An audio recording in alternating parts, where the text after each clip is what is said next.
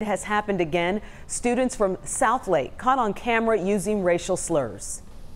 Hey, hey, walk over. Oh my god! Yes, I can say more.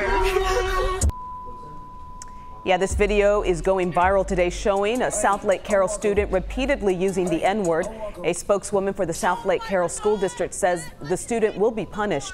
A similar video surfaced in Southlake just months ago. Those students, we are told, were punished as well.